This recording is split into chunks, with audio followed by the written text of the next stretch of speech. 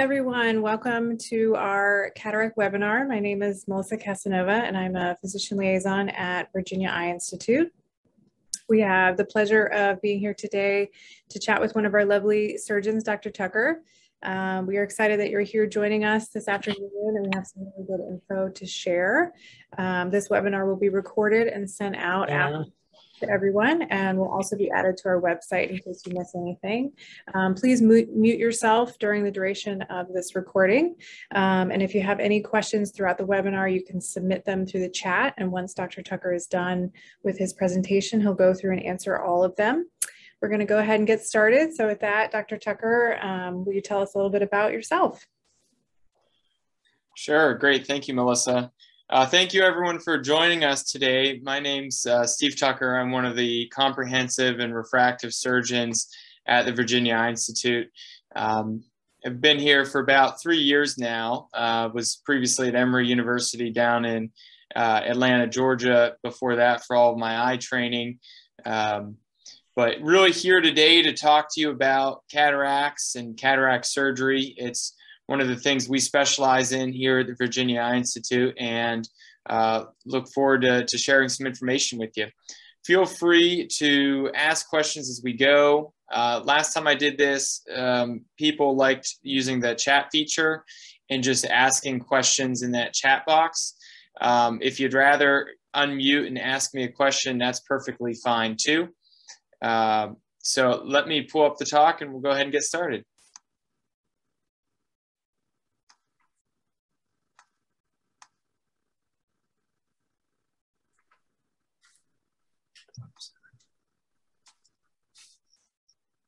All right. So let me just put this in presenter mode and we'll get started.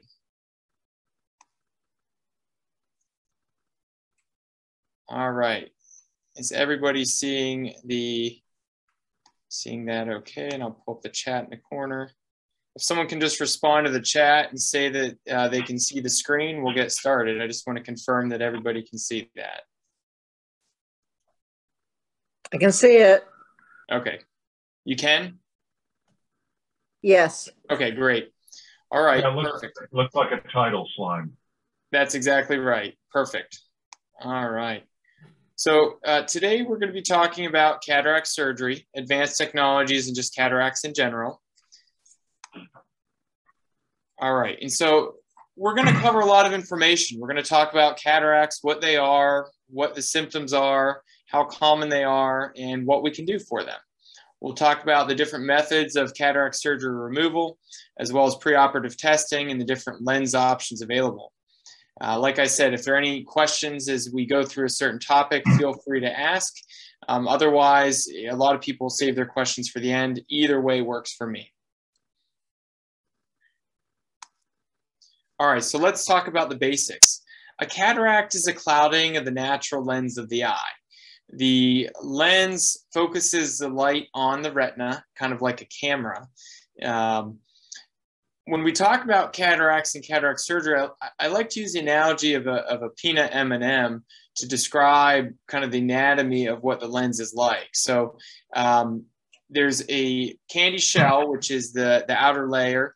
Then there's chocolate, which is kind of a, a milky layer. And then there's the peanut, which is the hard nucleus of the cataract. And so I'll, I'll use that analogy a few times throughout, but that peanut M&M analogy can be really helpful in understanding the surgical part of cataracts. Uh, so, but again, a cataract is simply a cloudy lens in the eye. Another term that patients frequently ask about and have questions about is astigmatism. Astigmatism is a focusing error that can result in blurred vision. Uh, I typically talk to patients about this as a cornea, which is the outermost layer of the eye being shaped like a football instead of a basketball. So if it's a perfect sphere, all of the light will focus in one at one point. And that's someone that doesn't have astigmatism, that has a perfectly round front surface. Astigmatism, um, again, if you picture the football, you've got the short end and the long end. So you get the light focusing on two different points. And that's why you need glasses or a lens to correct the astigmatism if you don't want to have blurred vision. Uh, intraocular lens. Uh, a common question is, are you going to put a lens in or did you put a lens in? Um, during surgery, when you take you have to put a new lens in. If you don't put a new lens in, you won't see well. So that is part of standard cataract surgery is to, again, take that cloudy lens out and put a clear one in. So what are the symptoms of cataract? That's probably the second most common question I get. Uh, what will I notice if my cataract's bothering me? Well, the first thing that you may notice is a myopic shift or a change in your glasses prescription. So as that lens changes in thickness and changes in opacity, it can cause the prescription to change. So you may see each time you see your doctor that the prescription's changing or getting more nearsighted. Sometimes this will work to someone's advantage where they actually get what's called second sight, where they don't need readers anymore because of this myopic shift. Um, but that can be an early sign of cataract. Glare and nighttime driving difficulties are probably the most common symptom we see, where when that oncoming light, headlight comes at you, just blinds you and scatters the light and makes it very difficult to see. Uh, so glare and halos at nighttime are probably the most common symptom. Faded colors, um, the, the lens kind of turns a yellowish brown, and so it's very common for colors to be not be as vibrant or as good.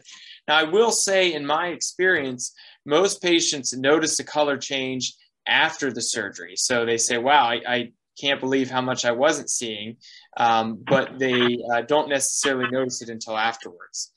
Difficulty in dim light settings. Another very common description is I'm having trouble reading my book at night without lots of light on or extra lights on compared to normal. Light sensitivity. Um, it doesn't just have to be at night, it can be from the sun during the day uh, with bright lights, because again, the same type of concept where the light scatters through that cloudy lens.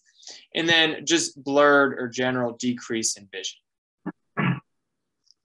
There are other um, specific symptoms that you can have. It can cause increased pressure and, and different things as well, but these are the most common. All right, so let's talk about what you can do for cataracts. So when you have mild cataracts, doing nothing or changing your glasses prescription is all you need to do. So if we can get you seeing well with an updated glasses prescription, then, then that's all you have to do. It reaches a point though where the glasses don't help or they don't correct these symptoms.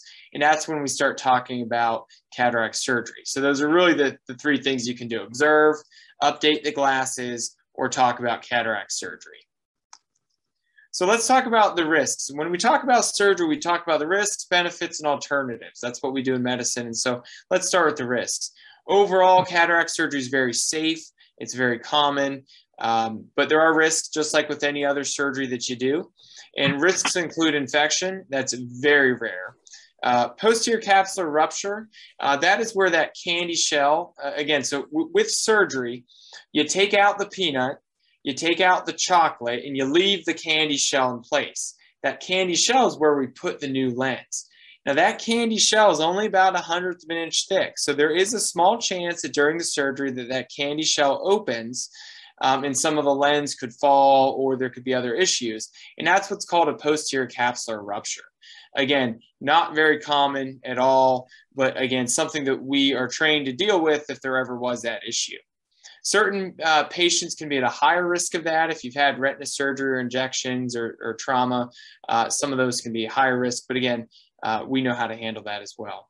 Intraoperative floppy iris syndrome, again, uh, not something you necessarily need to worry about, but basically, if you take Flomax, tamsulosin, or similar medications, it can cause your iris to uh, not stay can not stay dilated. It can constrict and get kind of floppy, and that's called intraoperative floppy iris syndrome. Again, we know how to deal with that. Zonulopathy, there are little fibers all the way around the lens that hold it into place. And those zonules, or what they're called, can be weak. They can be weak from trauma. They can be weak from a condition such, such as pseudoexfoliation um, or or just genetics. But um, that's something else that we're always on the lookout for and, and, take care of at the time of surgery. And then I always say there's always that potential need for additional surgery if there's an issue or if there's uh, you know something happens or that we need to do. So let's talk about the benefits of cataract surgery. So the main benefit is so you can see better. Um, in order to qualify for cataract surgery, you have to have a visual or functional complaint. So the most common functional complaint we get is I don't feel safe driving at night, or my vision's not as clear as I want it to be, or you know I'm having trouble threading the needle when I'm sewing. You know all these different things are functional complaints, um, and you know you can't just say I don't want to wear glasses. You know it has to be a functional complaint. Uh, but you know, some of the things that decreased vision can affect, uh, and this is from the essentials of cataract surgery, but vision worse in 2025, as simple as a one or two line decrease in vision has been associated with more falls and fractures. Uh, worse in 2040 vision, which is the cutoff for driving, uh, driving uh, unrestricted license, um, you know, can affect mobility, activities of daily living, and physical performance. And then even worse in 2050, which isn't that bad, there's a greater worse of impaired visual field, risk of death, and motor vehicle accidents. So as everyone knows, vision is very important and maintaining that vision is important. And that's why we do what we do for you. All right, so let's talk about cataract statistics. Cataracts are super common. So basically everyone, you know, if you live long enough, you're gonna develop cataracts and at some point they'll, they'll likely start impacting the vision. Um, so 20.5 million Americans over age 40 have cataracts. Um, approximately 4 million cataracts are done each and every year. Um, by and large, people feel like their vision improves significantly after cataract surgery. Um, with cataract surgery, about half of patients have significant astigmatism with that cataract. And again, we'll talk about that when we talk about the lens options. Um, and everyone develops presbyopia as well. Presbyopia is, you know, the need for reading glasses as you age, as the lens stiffens. And many people have cataract, astigmatism, and presbyopia. And um, the lenses they've developed today can help with some or all of those conditions, and we'll, we'll talk about that as we go. So now let's talk about, the, if anyone has questions about symptoms or what to look for, I'm happy to answer those. Otherwise, we'll talk about surgery next. Uh, we'll start with anesthesia. That's a, a, common question or concern patients have is they're worried about having someone touch and operate on their eye. Um, so there are different ways of doing anesthesia. Um, general anesthesia, where you completely go to sleep, is very rare in cataract surgery. Uh, we only do that in patients that have significant intellectual disabilities, significant head tremor where they're not able to keep their head still, you know, things like that. Otherwise, you will be awake during surgery. Okay. They will give you medicine through the IV to keep you relaxed. It's called monitored anesthesia care. Um, on top of that, there's a couple other things we do. So, uh, the most common way I do it is called local or topical, where you get the medicine through the IV to keep you relaxed. Sometimes you'll doze off, but for the most part, you're you're you're awake. Um, but we use numbing drops and numbing medicine in the eye to keep you completely numb so you don't feel anything. Um, there's what's called a retrobulbar block. A retrobulbar block is where you, you uh, the anesthesiologist will uh, inject medicine behind the eye to paralyze the eye so you don't feel anything, you don't have to worry about the eye moving, things like that. I don't do that very commonly. I do that about 5% of cases, 5 to 10% of cases. I'm always willing to do it if a patient would like that. I consider it a little more invasive because again, they have to, you know, inject medicine behind the eye. And so there are a few potential complications with that. And that's why I tend to avoid it again, unless we need to. If someone says, you know, I'm super light sensitive. And I get a feel for that during your preoperative evaluation, whether that's something you need. But every doctor does things a little bit different. There's some doctors that primarily do the block. Um, and again, that's surgeon preference, but you know those are the two main options. Uh, there is a difference in in uh, going home between the two. So with the local or topical, you go home with a shield that has holes in it, so you can see through that even that day. Um, with a block, you go home with a patch, and so you, you do not see through that on, on the day of surgery. So the surgery itself, once we start, only takes about 15 minutes. Um, of course, there are exceptions. If it's a very complex or very dense lens or there are any issues, it can take longer. But on average, 10 to 20 minutes is how long the surgery itself takes. Um, and um, in terms of medicines, we'll talk about that next. Um, there are some drops you use after the surgery. Uh, typically, and, in again, just to be clear, everything I'm telling you today is, is my experience and the way I do things. Every doctor does things slightly different. So the medications may be slightly different, the anesthesia may be slightly different, etc. But I'm, I'm kind of giving you an overview of everything that, that that's an option in, in the way I do it. Um, so typically a doctor will take it, have you take an antibiotic, a steroid, and an anti-inflammatory drop. Um, so some doctors will prescribe two or three different bottles for this. Uh, some doctors use compounded drops, which we'll talk about. A compounded drop simply means that all the, the drops are put into one bottle. And then there are different injectables that we can use. Antibiotics, which we'll occasionally inject at the time of surgery, depending on whether we think it's indicated. And there are different steroid uh, implantations that you can do as well. So again, uh, you can use three different bottles for the different drops. Um, I have switched to using a compounded drop, which puts all three of those, the antibiotic, the steroid, and the anti-inflammatory drop, all into one bottle. Um, we use a compounding pharmacy. They're actually based in Montana. Uh, they're the biggest compound ophthalmic or eye compounding uh, group in the country, and so that's who we use or who I use. Um, and so uh, this bottle you get, it's I think it's forty dollars to get this rather than getting the three separate bottles, which sometimes can be more expensive than, than getting the compounded drops. But again, you always have the option. So uh, we offer this to everybody. And if they want to go with the uh, three bottles, they, they can. But uh, this is what I prefer. I feel like it's easier for patients. All right, Dextenza. This is another uh, thing that, that, that's a possibility for each patient. It's where we put a little steroid implant in your tear drainage system. And so this goes in the corner. Uh, it's not visible and it completely dissolves after about 30 days. So what this does is it gives off steroid for a full month. And so that way you can stop the drops after a week instead of slowly tapering off the drops over the course of a month. On average, if you don't do this, you do the steroid, the combination drops for four times a day for one week, then three times a day in the second week, twice a day in the third week, and then once a day in the fourth week. So you slowly come off of it. But if you use something like Dextenza, then the steroid slowly goes away over the month and, and you stop the drops after one week instead of after four weeks. So this is just a picture. Can I ask, can I ask, can sure. I ask a question about um, the steroid that you just mentioned, the last option for medication? Uh-huh. Uh, why would you not use that ever?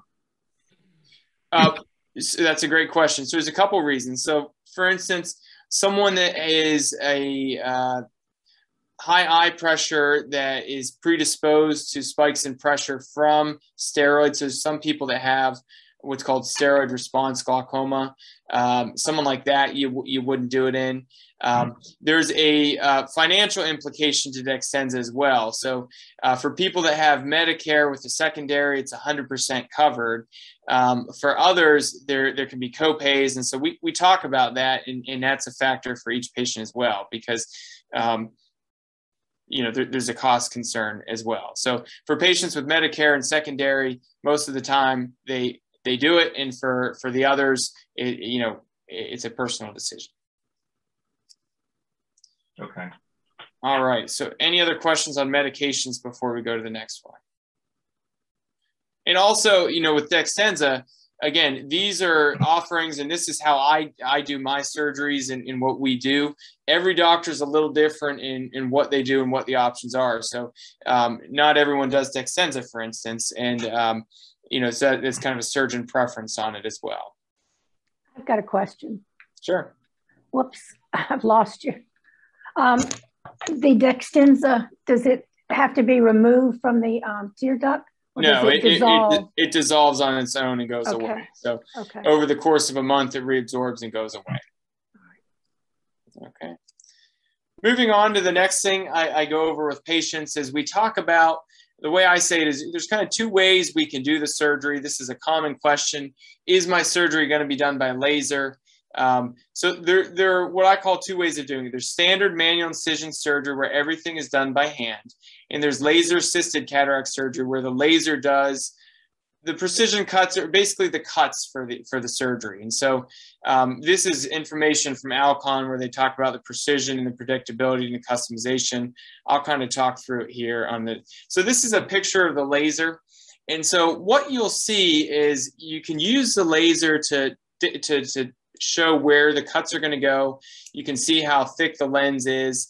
Um, you can can it makes the circle on top of that candy shell. It divides the lens into quadrants to make it easier to remove.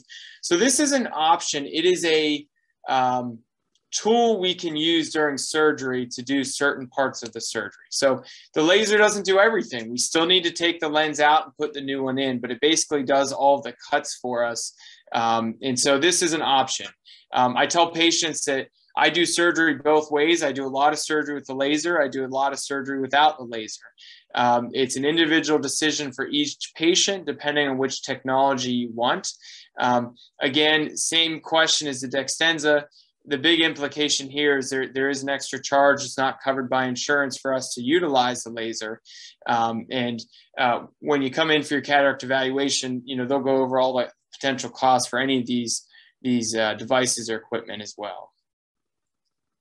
So again, just showing in more detail uh, what the, again, this isn't my uh, uh, one of my cases, but basically you'll see um, that circle on top of the lens is is you can you know when we do it manually, we use a little needle to, to, to open up that capsule in a circle, kind of like tearing saran wrap. And we're really good at it. Um, but the laser can also do it and kind of offer a, a perfect 360 capsulorhexis. And you can see these two uh, yellow squares. Can you see where my mouse is? Uh, yeah, okay. Um, so that is where the laser makes the incisions. So you can say exactly where you want the incisions to go. And then over here, we'll show where the cuts are actually going from the laser. Um, and then again, you see, you can see how thick the lens is and these different things as well. So it offers some advanced diagnostics at the time of surgery as well. Um, and also the main, the, the main utilization of it is actually for the correction of astigmatism. So um, you can create, you can uh, uh, treat low levels of astigmatism with the laser as well to minimize that prescription as well. So that's that's the laser. Um, a, a question about the laser. Sure. Uh, you you mentioned there was an upcharge for the laser, and I'm assuming that's why you don't do all of them with lasers. That's you, right. There's an extra charge. It, it's basically called a click fee. You know, to utilize the laser, they charge you for the interface, and so uh, there there is an extra charge for the laser, and that's um, same thing. We'll talk about some of the different lenses coming up. Some of the lenses are covered, and I'll tell you which ones are, and the others are the same thing. There's extra charges for the ones that that basically, if insurance considers the technology or the lens to be cosmetic isn't the right word, but if the whole goal of that is to make the prescription less, they're not going to cover it. So they're going to cover getting the cloudy lens out and putting a clear one in. So their goal is to get rid of the glare and the halos and to get rid of the functional complaint from the cataract. So that's what's covered by this. The reason I'm asking the question is I have astigmatism also. And you mentioned that the laser can can somehow deal with astigmatism. I, I don't want to be more descriptive than that, but so that's an option you have if you use a laser, but you didn't say that you couldn't deal with the astigmatism with manual. Well, yeah, we haven't gotten there yet. So, um, so low levels of astigmatism. If you have high levels of astigmatism, then you need a toric lens if you want to correct the astigmatism. That's one of the, the, the topics we'll hit on here in a minute, and I'll kind of okay. delve into greater detail on that. Um, so, so again, the laser is a way of doing the surgery. It's a tool we can use, um, and, and we'll talk about it in combination as we go through the lenses next. So I always tell patients you kind of have two choices. One is standard versus laser assisted. And then number two is on which type of lens and which target we use. So let's talk about the monofocal lens first. The monofocal lens is what is uh, covered by insurance. So this is a, the standard lens. This will correct myopia or hyperopia, which is near or farsightedness. It'll correct for one distance. So we can correct you for distance or we can correct you for near, but not both. Uh, this lens does not correct astigmatism and it does not help with presbyopia. So if you aim for distance, you'll absolutely need reading glasses for up close. And this is a lens that's always covered by insurance. And for people without astigmatism and that are fine without reading with reading glasses, this lens is great. I mean, it's a great lens. Um, it just doesn't correct those two things. Moving to the next option is a monofocal toric lens. So a toric lens is what corrects astigmatism. So monofocal toric lens will correct near or farsightedness as well as astigmatism. So if say you're nearsighted with astigmatism, this lens will correct you uh, so that your prescription's as minimal as possible for say distance. You'll still need reading glasses for up close. It doesn't correct you for up close, but it, can optimize say the distance vision. Okay.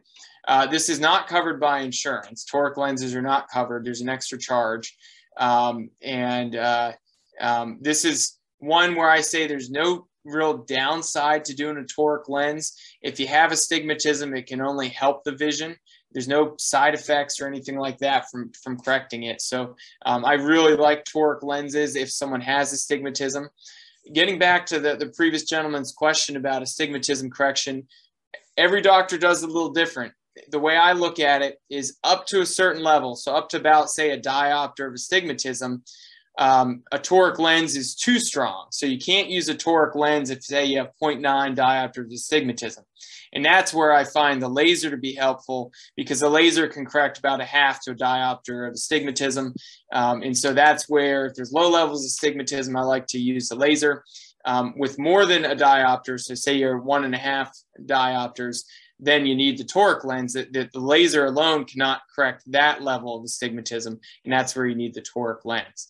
Uh, sometimes we use them in combination as well. So um, again, this is doctor dependent on how they like to do things. If someone wants to use the laser technology, I use the laser to mark where I'm going to align the lens, for instance. But again, that's that's kind of personal preference on that. But but all are good options. So that's the the toric lens. Next, we'll move on to the Vivity and the Vivity toric lens. This is what's called an extended depth of focus lens. And so the goal of this lens is to provide distance and intermediate vision. Intermediate vision means computer or dashboard. So it's kind of not distance, not real close, but kind of in between. Um, it, and it also provides functional near vision. So what I tell patients with this is if you kind of hold your phone out, the goal is that you'll still be able to see it. But if you're going to sit and read a book or spend time up close, you'll still need reading glasses but it'll decrease in your everyday life how often you need reading glasses. That's the purpose of this. Um, the reason people were real excited when this lens came out is because it really doesn't have additional side effects compared to the standard lens. And the standard lens is kind of what's considered the gold standard. Some of the older lenses that help with uh, distance and near have side effects, and we'll talk about some of those next. Um, so again, the goal of this is to give you good distance, computer, and functional near vision, uh, like we talked about a minute ago. Symptoms, uh, just to summarize this slide, it's basically showing that the symptoms of glare halos is similar between this and a standard lens. Again, ultimately, you can get side effects with any lens you put in the eye, you know, um, whether it's a standard lens or a Vivity or any other lens but um, the risk is the same as any other lens, not, not higher. This just kind of shows how the lens works. It basically has a little bubble on the front of it, which stretches the, the light is how they describe it. And it doesn't split the light, and that's the reason it doesn't have the extra side effects, but it can stretch the light so you have a wider range of vision without glasses. This lens, uh, or the, excuse me, this slide I put in to kind of show how you can think about how these lenses work at different distances. So if you look at the first one here, this is the monofocal lens. That sign up there means infinity. So that means at, at pure distance. So you can see that light is nice and bright and in focus in at infinity. But when you get down to computer range and near range, there's really not light showing up there. And that's because you'll need reading glasses to place that light in the retina at that, at that distance. The Vivity, which is the bottom one here, you can see kind of stretches out here and it gets all the distance, all of the intermediate, almost into the near range. But again, for the computer computer range, uh, you'll still need, or excuse me, for the near vision, reading pill bottles, sitting and reading a novel at the beach, you'll still want some readers um, for the average patient. And then the PanOptix is the one we'll talk about. Another, just to clarify something, there's a lot of information here, hard to jump into. And the four options from top to bottom are four different lenses. Is that right? That's right. So they are all options of the of this kind of lens, the extended focal range. Okay, so the graph shows the differences in. Okay, I, I got it. Yeah, so the top one is a, when you jump into a slide like this without context, it's hard to start listening and reading at the same time. But but okay. I got you.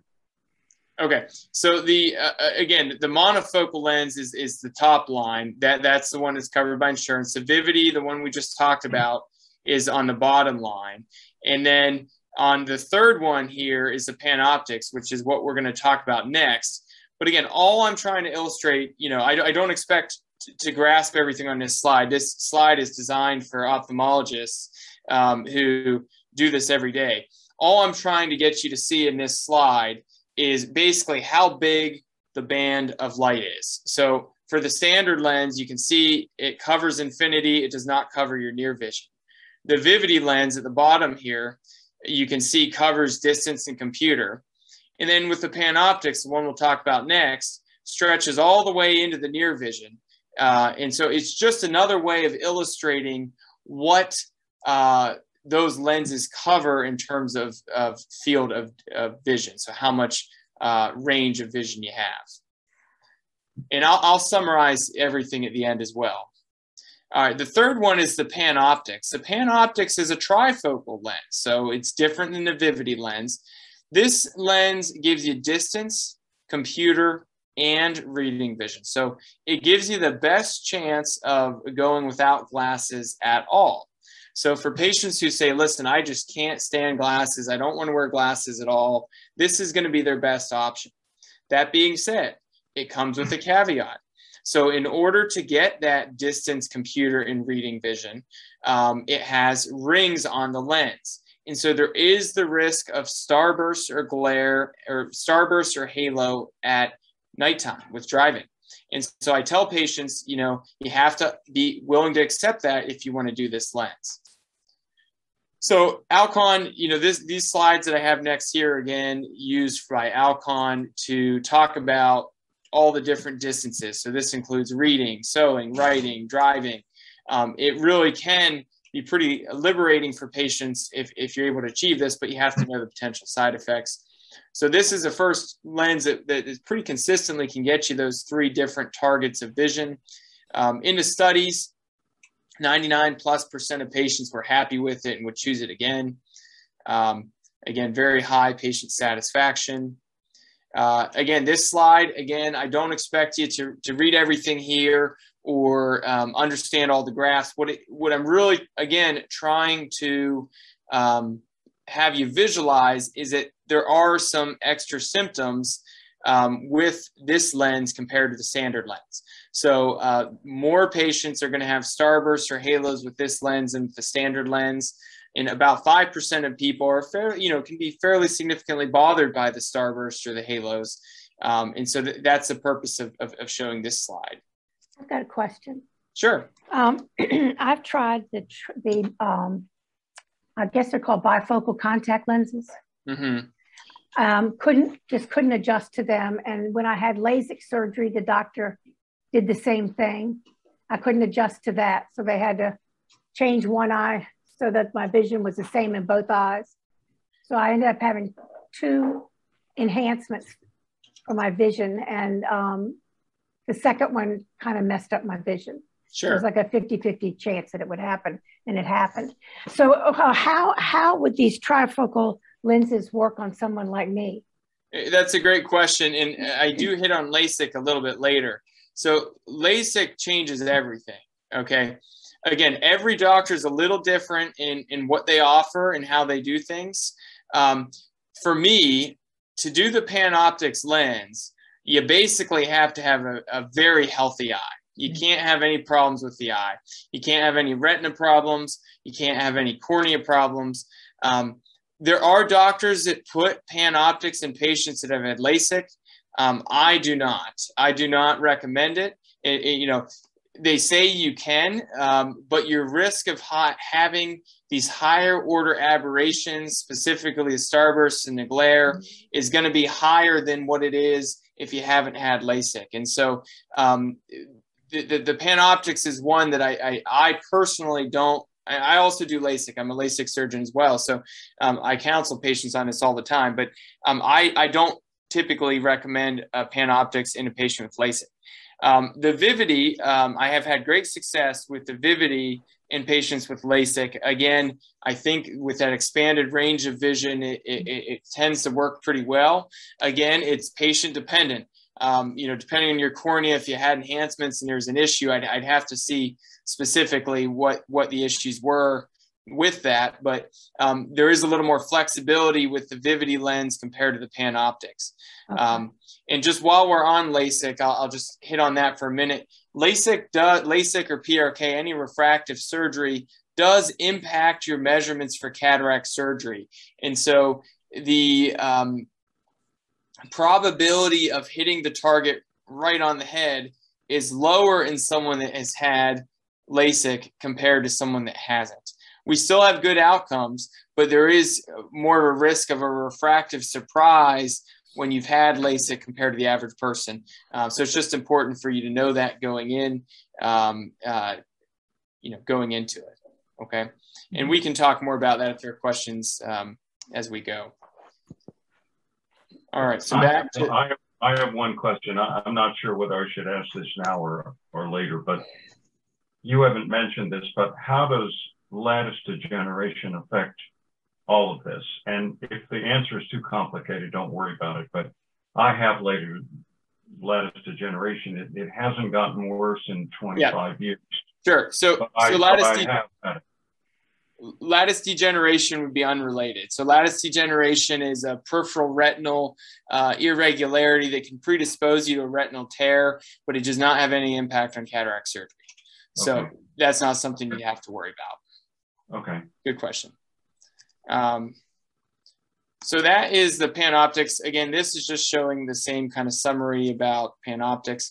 So that kind of summarizes the different lens options. So let me just do a quick summary. So again, you've got the, the monofocal lens, which will correct distance or near vision. It does not correct astigmatism and does not help with both. It's one or the other. Now, one thing we didn't touch on that I, I like everyone to be aware of is something called monovision. And I think that's what um, um, the woman who just spoke alluded to is that they may have done one eye for distance, one eye for near. And just like she said, she didn't tolerate it. And so my philosophy, every doctor is a little different. My philosophy is I will not do monovision unless we try it. And so for patients that naturally have monovision or that have worn contacts for years with monovision, uh, they're great candidates for monovision. And again, monovision is one eye for distance, one eye for near. It is different when you do it with cataract than when um, contacts are natural. Uh, patients that are in monovision that have never done it, uh, I, I have one of our something's interrupting you again there's there's noise that blocks your speaking. I, I don't know what I missed a lot of what you just said. The last minute and a half we cut out. Huh. Okay. It, I think someone was making noise on their computer and it overrode what it happens a lot in Zoom. Okay. Um, so I'll kind of uh, touch, go back again. Um, and I we'll start talking about monovision again and just stop me again if you're having trouble hearing me. Um, so That's monovision is where you do one eye for distance and one eye for near. Uh, like the uh, woman had alluded to earlier, she didn't tolerate it when she did it with LASIK. And so I only offer monovision if someone tries it before surgery. And so if they naturally have monovision or they've been wearing monovision contact lenses in the past, uh, those would be patients that would be a good fit for. Others, I would have them see our optometrist and try it with contacts before I would consider doing it. Because while some people do great with it, there are some patients that don't tolerate it well. Um, and so that is another option uh, with any of these lenses, but something that you have to talk about individually with your doctor about your experiences. Um, so I'll, I will pause there and see if there are any topics that you want me to hit on. Uh, there's a couple ways you can do it. You can ask a question or you can enter it in the chat chat area. Whatever works best for you is fine with me.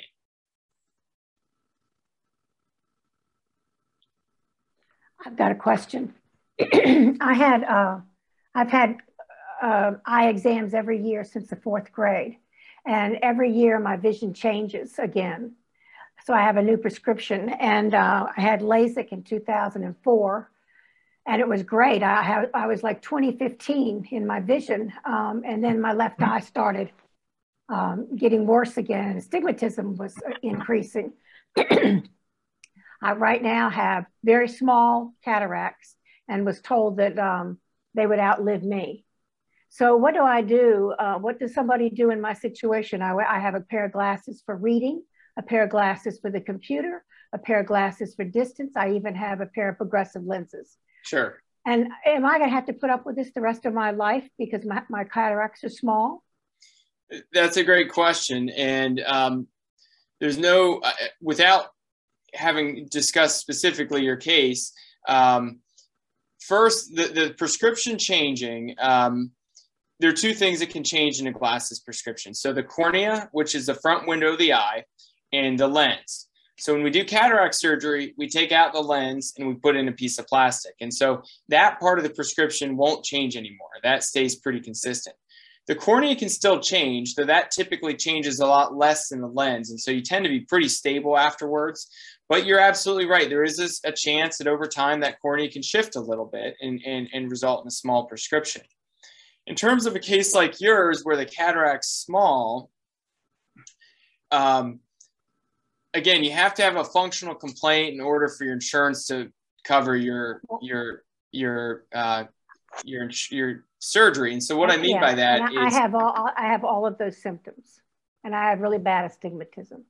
And I know you can't really answer this. Um, I have an appointment next month with with the eye doctor, but um, I just wondered: is it possible that someone that has a small cataracts could have this surgery? Um, so yes, if you're having symptoms and the symptoms are deemed to be from the cataract, absolutely. So um, everyone's a little different in how they. Again, every doctor you see is going to be different. Some doctors go by how the cataract looks. Others go more based on function. Uh, my philosophy is 100% based on function. And so I have patients that come in with smaller cataracts but have significant glare, uh, you know, don't feel safe driving at night. And we do cataract surgery. And I will tell you that in my experience in patients with LASIK, um, you are more susceptible to smaller cataract changes. So um, because the cornea is no longer uh, it, has been altered, um, you're a little higher risk of glare and whatnot. The second you start developing cataract, you can develop those symptoms earlier than someone that hasn't had LASIK. And so I would say, on average, in my patients, I do cataract surgery earlier on patients with LASIK because they're symptomatic earlier. Um, but but again, I go based on function. So I have patients that come in with small cataracts that are symptomatic, and we do the surgery. I have other patients that come in with real thick cataracts but they're not bothered. And if they're not bothered, eh, then we leave it alone. And so um, my philosophy is really based on what the patient tells me when they're coming in, as well as the exam, but the, the function and, and the discussion really guides how what we do. Okay, thank you.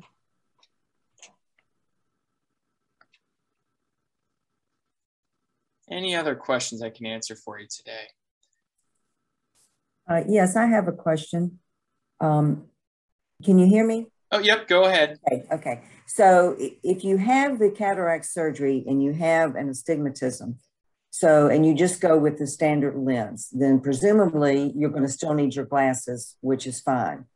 But if, if you have, after you have the second eye done, um, you know, the lens put in, how soon after that will you get new prescriptive glasses so that you can see?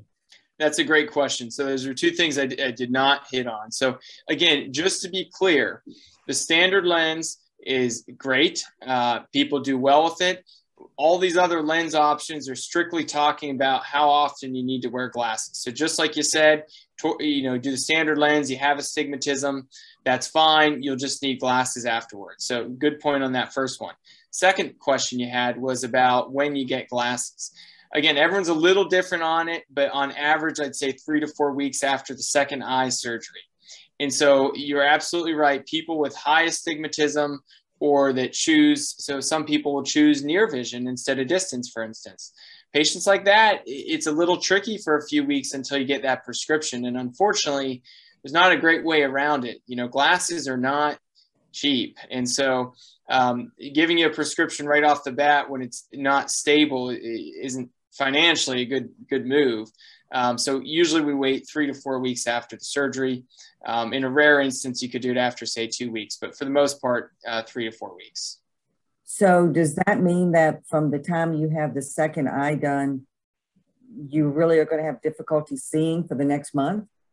I mean, I, I, your current prescription is going to be too strong. Right. Typically, your current prescription won't work. Um, uh, and that, that's a good question. I would say, on average, most patients that have cataract surgery are seeing well enough afterwards, even if they have astigmatism, that it's not that much different than it was before. So again, if you're having surgery, your vision's decreased. And so a without the cloudy lens, but with the astigmatism, it's still usually functional. Um, but you're absolutely right. There, there are people that have three, four diopters of astigmatism. Um, and if that's not fixed, they're not going to see well until they get the glasses. And uh, there's no real way around it. Um, I haven't had that come up that many times where it was that bad that someone was concerned. Um, but in a case like that, you always have the option of doing one eye at a time, uh, waiting till three weeks after the first eye, change the lens. You don't have to get a whole new pair. Change the lens in the eye that you did first, and then go ahead and do the other eye you absolutely, you know, we're flexible. Our goal here is to help you. And so if someone has a huge prescription like that, we can absolutely space it out and get one one lens done before the other eye is done. I mean, there there's no uh, right or wrong. You know, we just do it on a case by case basis depending on what the patient has and what we can do to help. Okay, thank you.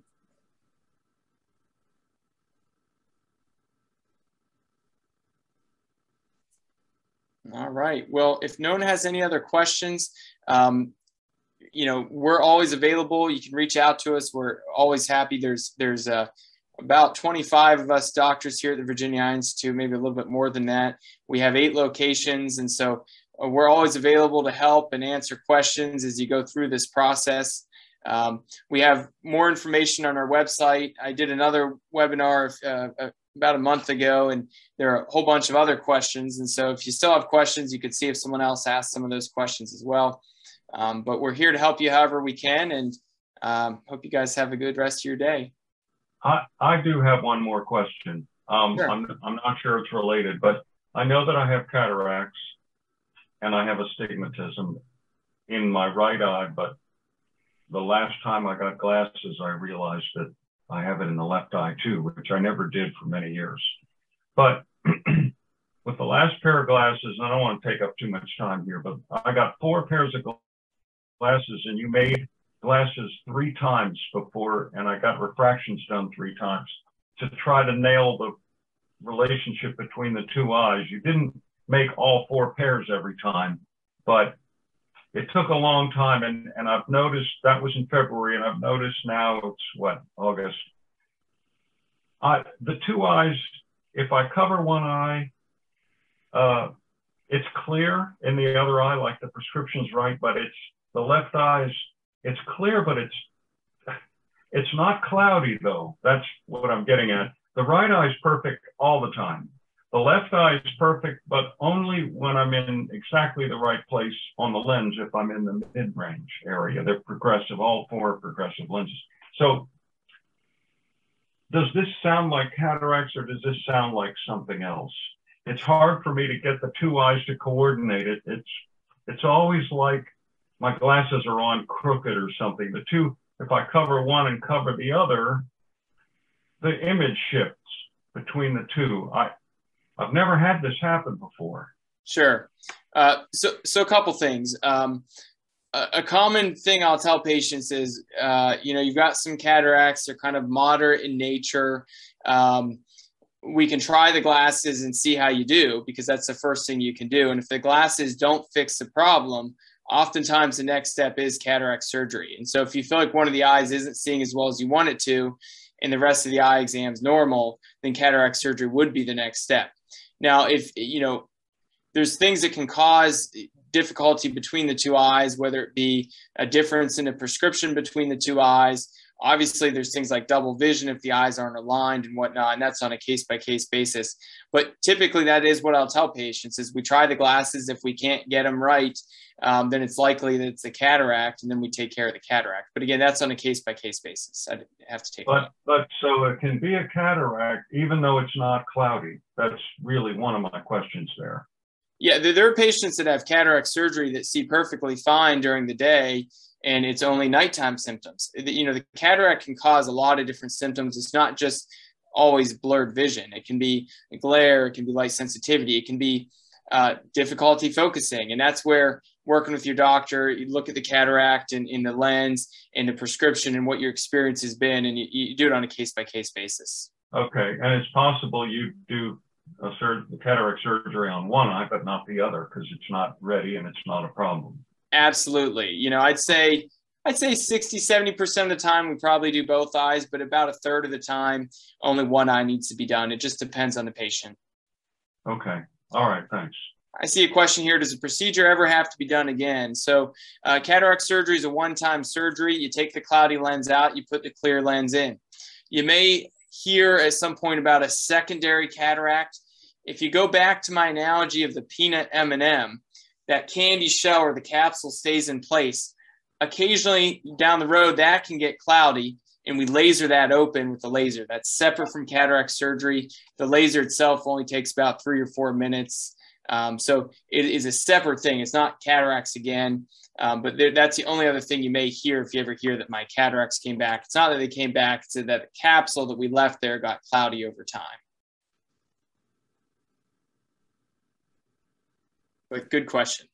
All right. Well, thank you, everybody. Um, we're going to wrap up here, but uh, again, thank you for joining. And if, like Dr. said, if you, Dr. Tucker said, if you have any questions, this recording will be um, on the website or you're happy to reach out to us and we're happy to help.